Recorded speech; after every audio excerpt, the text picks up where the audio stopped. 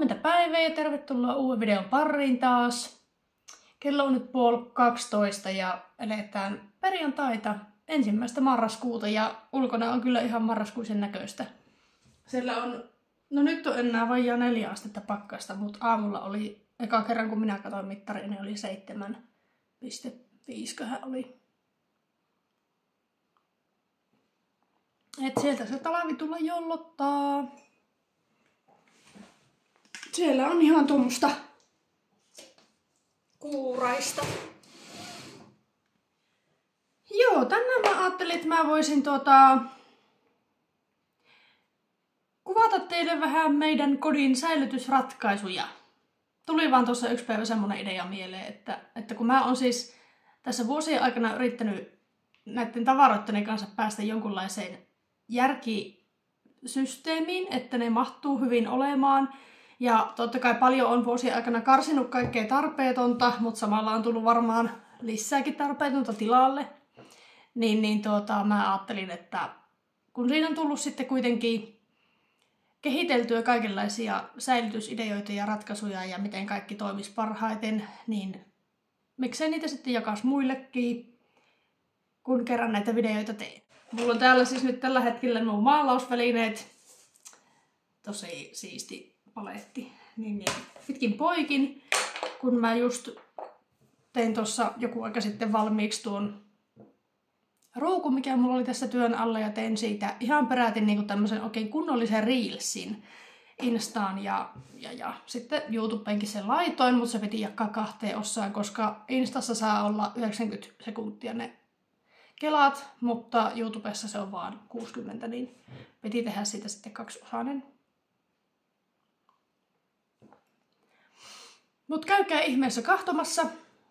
Löytyy tuota taidetilin puolelta Artmepu-tililtä Instasta ja sitten täältäkin YouTubesta. Se oli semmonen ihan hauska projekti tehdä kyllä. Mut mä oon tuota lähdössä taas yöksi sitten taksiin, käynyt yhden yön tänä viikonloppuna ajamassa. Ja aamulla kävin purkamassa kolme saneilua ja sen jälkeen oli lista tyhjä, niin tuota, sitten päätin, että no tehdäänpä nyt jotain muuta tänä päivänä sitten loppupäivä. Jos ei niin kuin siinä vaille kymmenen mennessä alan lista täyttymään, niin sitten menee kyllä huonosti. Mutta joo, se siitä. Mä en oo tätä mitenkään käsikirjoittanut, että mitä mä teille niin esittelisin, mutta mä ajattelin, että mennään vaan fiiliksen mukaan ja katsotaan, mitä tästä tulee. Mutta tosi kiva, että olet kahtomassa sillä videoa. Tervetuloa ja haluan kiittää kaikkia kanavan tilaajia, kaikkia ketkä kommentoitte aina jotakin. Niitä on tosi kiva lukea ja vastailla niihin. Ja hirveän paljon on löytynyt niinku semmoista vertaistukkeekin. Tietysti riippuu vähän videoaiheesta, mutta tuota, mitä tässä nyt on itselläkin ollut viimeisen puolen vuoden aikaan kaikkea, kaikkea niin tuota, kiitos siitä. Arvostan ihan tosi paljon, että ootte siellä. Lähdetään kahtelemaan noita kaappeja. Sen verran haluan siis sanoa vielä, että kaikki nämä edet ei ole missään nimessä välttämättä hyviä tai toimivia kenellekään muulle kuin mulle. Tai voi toimia jollakin, kannattaa ehkä kokeilla, ehkä, mutta tuota, tarkoitus on lähinnä näyttää ihan silleen, että jos siitä nyt sitten olisikin jollekin jotain ideaa, että no hei noin minä voin tehdä meilläkin, niin, niin tuota, silloin videon tarkoitus on täyttynyt. Sanotaanko näin? mutta joo, esimerkiksi täällä, oi vitsi kun paistaa kyllä aurinko kommesti, mutta tuo lasi on sen verran huurussa, että häikäisee ihan toiseen malliin. Täällä mulla on semmoset NS-puolipitoiset vaatteet, mitä on käyttänyt niinku kerran ja mitä ei vielä tarvii pestä. Ja sitten jos ne näyttää, että ne alkaa roikkumaan sinne liian pitkään, niin sitten mä laitan ne pessuun. Ja tämä on siis ihan tämmöiset ampelikoukut, kun nämä nyt on. Ja tuota, joku tämmönen puu oksa, minkä tuolta ulkoa joskus haalasin sisälle. Ja siinä on, on semmosia, mitkä voi ihan hyvin vielä toisenkin tai kolmannenkin kerran käyttää päällä. Ja sitten meillä on tämmönen kaksi tämmöistä penkkiä täällä makkarissa. Ja toinen niistä on heti tässä sängyn päädyssä. Ja siihen tahtoo kyllä tulla aina jätetyksi sitten ne just päivällä pietyt vaatteet, kun menee nukkumaan. Ja toinen penkki on sitten tämä. Ja tuossa on tällä hetkellä pyykkiin tai muuten alakertaan meneviä vaatteita. Nuo vaatteet on semmosia, mitä on kerran tai kaksi pitänyt, kun on siis maalannut. Mulla on tuolla nyt se projekti, se lipasto, mitä viime videossa näytinkin, niin nuo vaatteet on mulla ollut päällä sitä maalatessa. Sitten tuossa on tuommoisia neuleita, just mitä on kerran käyttänyt. Ja en vielä viiti pestä, koska jotenkin tuntuu, että neuleita nyt ei, ei ole tarvetta pestä niin usein. Ja toisekseen tuota, niitä mieluiten jotenkin pesis mahdollisimman vähän. Siis totta kai aina tarpeen mukaan, mutta etteivät sitten nukkaannu ja kulu suotta hirveästi. Ja sittenhän mulla on täällä tämä Ikean, onko tämä nyt Malm vai mikä tämä on tämä lipasto. Tämä on sille aika tarkka siitä, että kaikki asiat on niin kuin tietynlaisessa järjestyksessä, että mä tiedän missä ne on ja että mä helposti myös löydän. Ja minulla ei ole nyt tarkoitus tässä esitellä teille minun alusvaatevalikoimia tai mitään tämmöistä, mutta näytän nyt ihan sillä, että niin kuin, mitenkä minä niitä säilytän. Eli täällä on niin kuin, näkyykö tässä mitään? Täällä on siis legginsit. Ja sitten on tommosia pitkiä toppeja, mitä käytän paljon legginsien kanssa. Sitten on bikinit, uimapuvut, urheilu, liivit, kaikki tämmöiset alusvaatteet on täällä näissä Ikean kangaslaatikoissa. Sitten täällä on kaikki sukat, villasukat, ohuemmat sukat, sitten on yöpaijat ja yöhousut. Tuolla on sukkahousut, sitten kesäsukat ja tommoset niin kuin yösortsit, mitä saatan käyttää kesäaikaan. Sitten täältä löytyy urheiluvaatteet, jotka harmillisesti on aika vähällä käytöllä.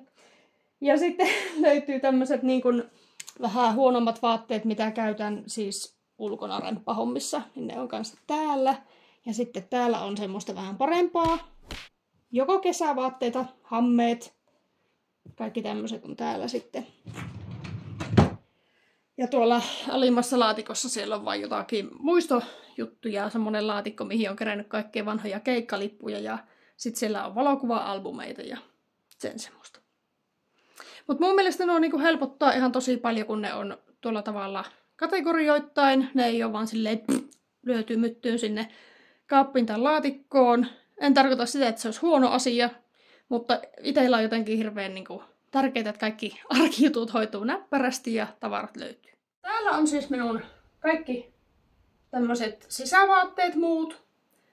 Ja henkareissa on kaikki tämmöiset niin kuin avonaiset niin sanotusti, mitkä, mitkä on niin joko napeilla tai vetoketjulla tai sitten tällaisia neule lörttäneitä vaan. Ne on kaikki aina naulakossa. Ja sitten tämmönen. Tää on varmaan, siis mä en tiedä onko tää ihan naulakko vai tarkoitettu johonkin askarteluun. Mä joskus kauan sitten ostin näitä kolme, oli kirpparilla.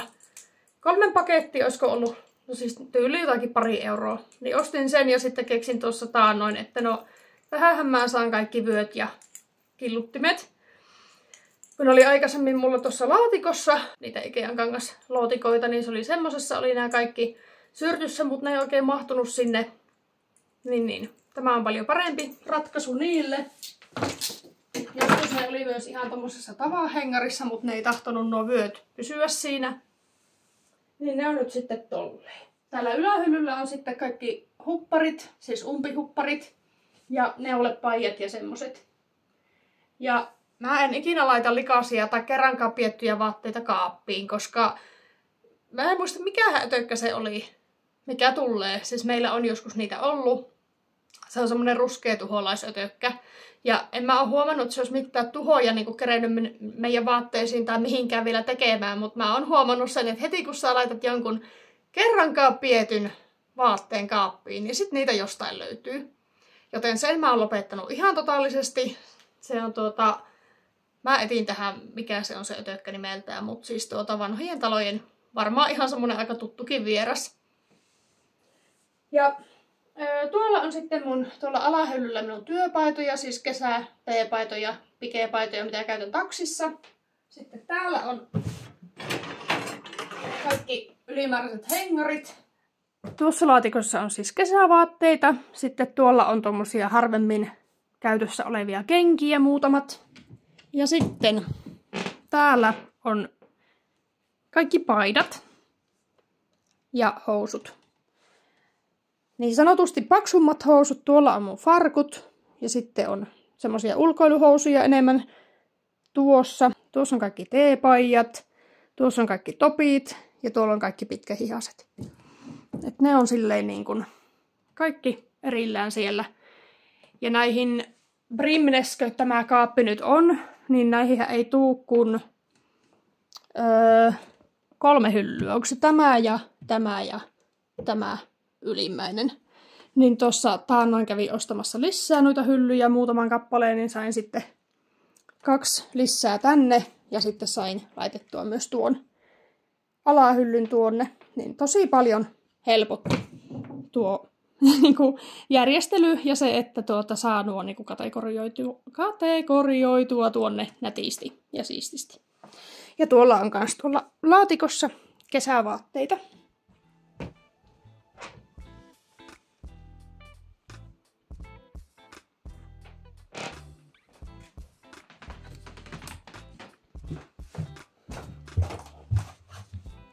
Mutta oikeastaan ihan hauskaa näitä selostaa tälleen, kun sitten niinku... Tiedän, vaikka tässä tulisi joku parempi idea jollekin jutulle, mikä on ollut vähän semmonen, että no en tiedä mitä tuon kanssa tekisi. Minne mä olin menossa? Pyykkikoneeseen viemään näitä tavaroita, vaatteita, niin.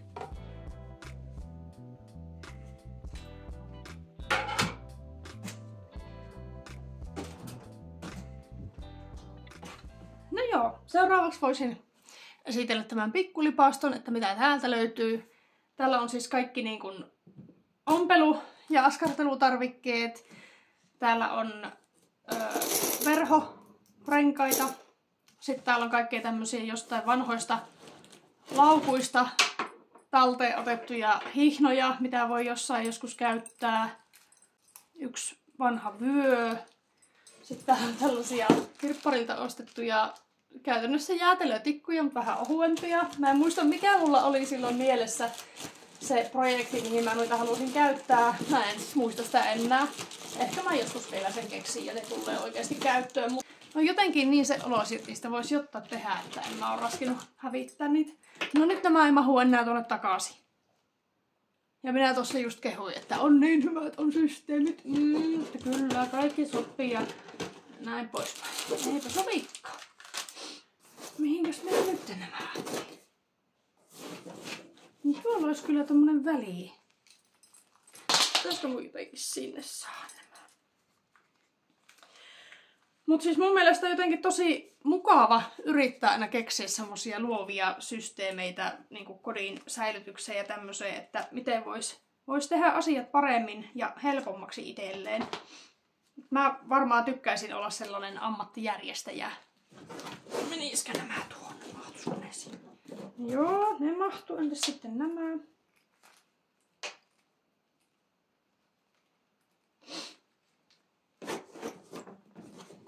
No, ne on siellä. Joo, sitten täällä on tämä verho, joka on vieläkin menossa tuonne kylppärin oveen. Sitten täällä on kaikkea irtoniittejä, nappeja, neppareita, lankoja, Google ja pitää tietysti olla hirveellä niin kuin pussillinen, että niitä saa jonnekin aina sitten viljeltyä. Sitten on kaikki kangasmerkit. Nämä maailman ihanimpia niin kuin laitteita oikeasti näillä saa niin helposti ja nopeasti uudistettua jonkun virttyneen vanhan neuleen. Niin kuin, no tämä on jo ehkä vähän, mä oon tätä parikin kertaa näillä nukka, nukan poistajilla käynyt läpi ja ei se oikein ole paremmaksi muuttunut, että tää taitaa olla jo mennyttä. Mutta kaikki tämmöiset on täällä. Sitten täällä on korjattavia vaatteita tai tuunattavia. Silleen, että joku mättää ne, jotain pitää tehdä niille. Sitten täällä näkyy olevan pari julistetta. Vanhoja rikki olevia puhelimia, joita kannattaa säilyttää tietysti vuosikauet. Sitten täälläkin on valokuvia ja tämmöistä näin. Täällä on sitten tuota, pari tämmöistä, mitähän nämä on, jotakin kaisla-juttua tai jotain tämmöisiä tabletteja. Nämäkin on ostanut johonkin askarteluprojektiin. Sitten täällä on tämmöistä köyttä ja nahkapaskoja. Miksi työ sanotte näitä? Mutta Savossa nämä on ainakin nahka, siis nahkapaska on tämä nahan reijitin. Se, se varmaan on sen nimi oikeasti niinku normaali ihmisten keskuudessa. Ja suurennuslasikin löytyy. Kummiko päin ajetaan. Sitten on jotakin valokuvapaperia, tulostuspaperia tämmöistä tuolla. Joo, tätä kaappia onkin joskus videolla siivottukin. Ja mikä karvas. Kaappia onkin... Kahvinkeitin sammu, pieni hetki. Tyy. Miksi tämä kukka näyttää jotenkin lerpahtaneen? Varmaan sen takia, kun se on. Minkä mä muistanut kastella? No en vissiin. Nyt menee kyllä ihan sekoilu. Mäpä käyn hakkeen vettä tuolla. No niin, tuota... Tuolla kaapissa ei ole mitään luurankoja, mitä en uskaltaisi paljastaa. En sen takia tässä viivyttele tätä kaapin ovien mutta ihan liian paljon on kaikkea tämmösiä häiritseviä tekijöitä nyt tässä. Six hours later. No niin, siis tätä kaappia on joskus videolla siivottukin. Ja olette varmaan nähnyt sillä videolla, jos olette sen kahtonut. Se oli varmaan joskus... On sitten varmaan vuosi, kun se video tuli, voisiko olla. Niin, niin, että mitä täältä kaapista löytyy. Täällä kaapissa on sulismailat. Sitten on kaikki niinku tämmöiset kestokassit. Öö, repuut. Käsilaukut. Matka, niinku tämmöiset putkikassit, tämmöiset on kaikki tuolla kaapissa. Sieltä löytyy semmoset. Tuollakin on tuo Ikean kangasloota. Sitten tästä löytyy kaikki tommoset puhvi, huivit, öö, lippikset, kaikki kaulurit, tämmöiset niin kuin joko mopoiluun tai muuten kesäasioihin liittyvät jutut. Sitten täällä on mun kuplavisiiri, pyöräilykypärä ja jäkiskypärä. Siis tosi harvoin käyn luistelemassa. En, en tykkää luistelemisesta, mutta mulla on kuitenkin kypärä ja totta kai pinkki. Tuolla on sitten kaikki tommoset kovempien pakkasten huivit, kaulahuivit. Sitten tuolla on moottoripyörä varusteita. Siellä on housut, hanskoja, joku takivuori ja semmoista. Tuolla on jotakin sisustustavaraa muistaakseni tuossa mustassa lootassa. Sielläkin on kaikki silleen niin kuin aika, aika hyvin löytyy ja tietää, että mitä missäkin, missäkin on. Täällä on sitten vuorostaan kaikki takit, farkkutakit, nahkatakit, kaikki semmoset mitkä ei niinku ole periaatteessa just sillä hetkellä sen kauden vaatteita, niin ne löytyy täältä. Sitten täällä on kaikkea, kaikkea sekalaista roinaa, jotakin, mitä hyppynarua siellä oli ja kaikkea tämmöistä. Sitten tuolla on taas nuo ylimääräiset henkarit. Tuossa on kaikki joulupaperit ja koristeet ja systeemit, mitä on muuten minulla ihan todella vähän, enkä kaipaa yhtään enempää, en ole jouluihminen. Tuolla on jotakin kankaita ja sisustusjuttuja tuolla laatikoissa ja ompelukone ja sitten kaikki kangaskassit on tuolla lailla. Mä siis tykkään paljon hyödyntää niin ovissa tätä tilaa, että näähän nyt ei tietenkään ikuisuuksia aina pysy ja välillä pitää liimata uusia, kun ne nä- näyttää puttoilevan. Mutta noihin saa tosi helposti tuommoista niin kuin, pienempään tilaan menevää tavaraa. Sitten seuraavaksi voisi esitellä tuon liinavaatekaapin. Sitäkin on jollain videolla aikaisemminkin siivoiltu. Mutta miltä se näyttää tällä hetkellä. Eli täällä on myös vähän niinku yrittänyt silleen hyllykohtaisesti kategorioida tavaraa, että olisi niinku kaikki samantyyliset samassa, suurin piirtein ainakin. Eli tuolla ylhäällä on kaikki tommoset niinku koristetyynyn päälliset. Sitten siellä on, taitaa olla makkuupussit on tuolla takana. Sitten tässä alemmalla hyllyllä on kaikki pyyhkeet. Tuossa on isot pyyhkeet, sitten on noin tommoset pienet muumi niin kuin, onko ne nyt vieraspyyhkeitä vai mitä ne on. Semmoset on tuossa keskellä ja sitten on käsipyyhkeet tuolla sivussa. Ja sitten on lakanat on tässä keskimmäisessä. Tuolla on tyynyliinat, sitten on pussilakanat ja tuota, aluslakanat. Sitten tuolta löytyy kaitaliinoja, pöytäliinoja ja muitakin. Sitten tässä on verhoja. Oikeastaan nämä tämänpuolimaiset kaikki. Ja tuolla takana on myös niin kuin lisää verhoja. Sitten siellä taitaa olla koiran koiran ja kissan pyyhkeet kanssa, ne on tuolla takana. Ja sitten täällä alhaalla on lisää verhoja. Eli täällä on siis sitten tuota verhoja lisää. Ja sitten täällä on kaikkea semmosia niin kuin viimeistelemättömiä kankaita. Isoja tilkkuja, siis semmosia niin kuin ison verhon kokoisia ja pienempiäkin, mutta nämä on kaikki siis niin kuin johonkin projekteihin joskus. Ja tuolla on lisää verhoja tuolla vihreässä laatikossa. Sitten täällä alhaalla on kaikki tämmöiset niin pienet matot, vessanmatot ja kynnysmatot ja muut.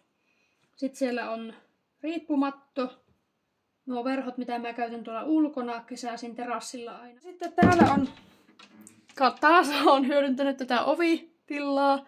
Siellä on tommosia ihan liimattavia tuota, naulakoita, missä on kaikki henkarit, koska mä tykkään kuivata niin kuin takit ja vetoketjuhupparit, kaikki flanellipaijat, kaikki tämmöiset aina henkarissa. Ne on sen takia tässä, koska ne on sitten lähellä tuota pyykkikonetta. Sitten tämmönen kaappi on tässä. Täältä löytyy siis kaikkea harvemmin tarvittavia pesuaineita, kloriittia, pyykinpesuainetta, mitä käytän harvoin, ja sitten on kaikki tuota kasvimyrkyt tuossa alemmalla hyllyllä. Sitten täältä löytyy pesupussi. Sitten täällä on jotakin tämmöisiä värinkerrejä, valkaisia liinoja. Molempia itse asiassa taitaa löytyä. Color Catcher, joo. Sitten täällä on, mä käytän siis tuossa pyykkikoneen pesussa sitruunahappoa. Sitä on kanssa yksi pussi vielä. Sitten mulla on pyykinpesuaineet. Mä jossain vaiheessa keksin, että mä haluan laittaa ne tolleen nätisti tuohon. Niin ne on tämmösissä. Tässä on hajunpoistajaa. Se on, mikä se onkaan merkiltää. Hetkinen nyt. Tämmöstä käytän välillä aina pyykin seassa. Tää on siis todella tehokas hajunpoistaja. Ihan oikeasti toimii. Olin tosi skeptinen, kun eka kerran ostin, mutta se kyllä pelaa. Sitten on se huuhteluaine on tässä, tämmöisessä. Nämä on kaikki kirpparilta ostettuja lasipulloja. Sitten täällä on tuota tahranpoistojauhetta. Sitten tässä on etikkaa. Eikö hieno pullo? ja täällä on sitten pyykinpesuainetta. Että ne on siinä. Jos minä menen tässä asiassa liian nopeasti, selostan, niin laittakaa kysymyksiä kommentteihin. Jos jotakin herää, voin kirjoittaa ihan vaikka siinä kahtumisen lomassa. Laittaa sitten vaan uutta, kun tulee tai jotakin uutta asiaa mieleen. Et mä oon vähän tämmönen epäselvä selittäjä monessakin asiassa, että en yhtään ihmetteli, jos menee, menee välillä ohi ja yli hilseen ja vaikka mitä. Ai niin, se vielä. Tämä on siis joskus ostin Tokmannilta ja se on väärinpäin tuo kyltti. Ja se maksoikohan se, että kolme euroa vai kaksi euroa. Mulla on ihan pakko ostaa se, koska mä huvitti niin, niin paljon, että sillä, joka tuo rakentanut, niin oli niin kuin yksi työmaa. Ja se laittoi väärinpäin tuon kylti. Mutta tähän mä laitan aina sitten tuota, ripustan kaikki semmoset parittomat sukat, mitä tulee pyykissä. Niin, niin, oottelemaan sitä pariaan, jos se joskus löytyy. Sitten voitaisiin katsoa tämä kaappi. Laitetaanpas taas vähän valoa kansalle. Eli tältä kaapista löytyy kissaruot, jota on muuten käytävä ostamassa tänään lisää. Muuten tulee tupeen rapinat. Sitten raksut on täällä. Ja tuota, kaikki kissan ylimääräiset kupit on täällä takana. Puhtaat vaihtokupit. Tässä on tämmönen suppilo, millä minä aina laittelen nuo pesuaineet noihin lasipulloihin. Niin, niin. Tämmöset on täällä hyllyllä. Sitten on autonpesutarvikkeita oikeastaan nämä alemmat hyllyt. Eli täältä löytyy liinoja, lasiliinat ja sisäsiivousliinat. Ja sitten täällä on vanteiden pessuja, kinnasteluun tarvikkeet ja kahdessa korissa on nämä kamppeet. Täällä on niinku, tässä on enimmäkseen ulko, pessuun tarkoitetut aineet ja tässä on sitten sisä, sisäpesujutut. Tii käy hakemassa välikahvit. Tässä on taas vähän se ongelma, että tahtoo ylivalottua, kun tulee tuolta ikkunasta valoa, mutta Tämänpä minä taisin esitelläkin itse asiassa jossain ihan taannoisessa videossa tämän siivouskaapin. Mutta täältä siis löytyy pesuaineita Siellä on ihan mäntysuopaa, tolua, lasinpesuainetta, ruokasoodaa, tämmösiä näin. Sitten tuolla on kaikki harjat tuolla takana tuommoisessa laatikossa. Näkisikö sinne paremmin? Siellä on kaikki tommoset jynssäysjutut, saunanpesimet ja muut. Sitten tuolta löytyy tuolta perältä kaikki sienet. Siellä kaikki tämmöiset scrap daddit ja muut hankaussienet. Sitten tässä on imurinpussit ja suulakkeet. Sitten tuolla on kaikki hankausaineet ja koiran ja kissanpesuaine, hauahoiva. Tämä teline tässä seinällä, missä on nuo ikkunan pesuvälineet ja mopin varret ynnä muut, niin se on ostettu Klasulta joskus. Ruuvasin sen vaan tuonne kaapin sisälle seinään ja se on kyllä ollut ihan todella kätevä. Siihen saa hyvin, hyvin seinää vasten litteesti nuo välineet. Tämä oli siis tosi hyvä puhistaa kissan tai koiran karstalla.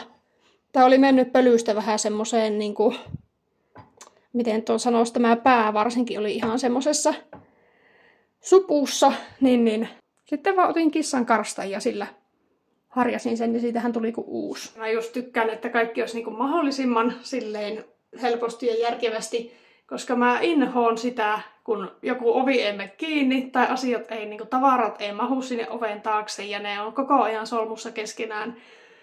Niin, niin tuota, mun mielestä kuitenkin kotona joutuu niin paljon kaikkea siivousjuttuja ja kunnossapitoasioita tekemään omakotitalossa ainakin, että tuota, sitten jos ne asiat, tavarat, kaikki on helpommin saatavilla ja se niin kuin, siististi ja järjestyksessä, niin se tosi paljon vähentää ja pienentää sitä kynnystä ruveta oikeasti tekemään. Tämänkin mä taisin silloin esitellä, kun os, olin tämän kaapin ostanut ja tähän laittanut. Mutta tehdään se nyt uusiksi ihan tämän videon nimissä. Eli tää on siis ihan joku kylppärikaappi, mikä löytyi tuolta Roskalavalta, Kuopion Roskalavalta muistaakseni. Ja sitten mä vähän sitä vaan fiksasin ja maalasin. Ja se tuota, sopii hyvin tänne oven taakse. Ja täällä on tosiaan kaikki laudeliinat, saunajutut, saunahatut, kaikki tämmöiset. Vähän jottaisi lämpösuharjaa ja tämmöistä. Ja tässä on sitten lattianpesuasiat. Jos en käytä tuota Viledan moppi sankko yhdistelmäjuttua, missä on just se poljin, sitten mä pesen aina levymopilla lattiat ja käytän näitä mikrohuitusia liinoja. Tai moppeja siis. Niitä on täällä. Sitten täällä on ikkunanpesu. Nämä tuppelot kanssa. Sitten joskus ostin siis, niille ihan typerä juttu, mutta siis ostin tämmöisiä kertakäyttöisiä puhdistusliinoja ihan siihen, että voi niinku äkkiä pyyhkästä jotakin koiran tassun jälkiä ja tämmöistä, mutta eipä ole paljon tullut käytettyä. Et ne on kyllä, enkä mä muutenkaan en tykkää käyttää niinku kertakäyttöisenä mitä, mitä, minkä voit niinku pestä ja käyttää monta kertaa. Ihan suotta niinku käyttää jotakin tuommoista ja nakkelee vaan roskiin perästä ja ihan turhaa kuluttamista minun mielestä. Sitten täällä on kaikki siivouspyyhkeet, eli suomeksi sanottuna luutut. Ja pitää kaikki järjestellä tässä samalla. Ne on siellä. Sitten on ikkunaliinat. Täältä löytyy sitten öö, pyykkinarua, ylkipoikia, roskapusseja, kumihanskat, sitten on näitä vinyylihanskoja. Täältä löytyy siis kaikki paljujutut. Täällä on tuota, lämpömittaria, sitä paljunpesua varten tämä luuttujuttu. Sitten on tämä tämmönen, mihin laitetaan näitä klooritabletteja, tämmönen kelluva häsmäkkä. Ja sitten tuo valo. Ja täällä alimmaisilla hyllyllä näkyy sitten olevan, nämä on tyhjiä, no melkein tyhjä pullo pesuainetta. Nämä on sitten ihan tyhjiä suihkepulloja. Auton pesuaine on tuolla. Krokseja ja semmoista. Tällä lailla on järjestellyt näitä siivoustarvikkeita ja juttuja. Ja tuota, mä tosi paljon käytän näitä koukkuja. Nämä on siis mun mielestä hirveän käteviä monessakin. Että just niinku tämmöiseen, tänne saa luilla roikkumaan just tämän mobiililevyyn ja sitten vaikka joku moppi kuivamaan tuohon tai muuta tämmöistä, jos haluaa pois silmistä. Ja, ja tuota, niitä kannattaa kyllä hyödyntää. Sitten mä taitaa olla Glasulta ostettu Glass Ulsonilta joskus tämä teline. Se ei ollut kovin kallis, mutta on kyllä tosi kätevä. Ja sitten kissan vessa. Sekin nyt esitellään, kun se tuossa on. Ja se on siis tuota, tuommoiseen kylppärikeittiökaluustekaappiin, mikä meillä tuolla oli ylimääräisenä, niin se on piilotettu sinne. Ja siinä on sitten tuommoinen joku Ikeasta ostettu melko huonoksi jo aikoinaan mennyt matto, mitä on nyt sitten käyttänyt siinä, että vähän jäisi tassuista ne suuri osa hiekoista tuohon eteiseen. Toinen asia, mitä kannattaa tosiaan hyödyntää minun mielestä, niin on just nämä kaappien, kaapiovien sisäpuolet. Et laittaa tämmöisiä ihan, ihan peruskoukkuja. Totta kai ne välillä on sitä ongelmaa, että ne taho sitten mahtuu ne ovet kiinni, kun siinä on sitä tavaraa, mutta jos vain jossain kaapissa on semmoinen tilaisuus, niin kannattaa ehdottomasti käyttää hyödyksi sekin. Tyhjä tila, mihin laittaa jotakin roikkumaan. Paljonkohan mulla on tässä jo kaikkia materiaalia? Mä, että pitääkö mun tehdä tästä kaksi eri videoa vai vieläkö mä jotta kerkeisin teille esitellä? No niin, minä oon tällä sohvalla. Karkkia syömässä. ja yritän vähän nukkua ennen töihin lähtöä. Mutta tosiaan siinä oli jo tunni eestä sitä materiaalia. Että niistä jos minä saan tehtyä semmoisen järkevän pituisen videon, ettei siitä tule ihan hirveän ylipitkä, niin, niin tuota, se olkoon nyt sitten ensimmäinen osa.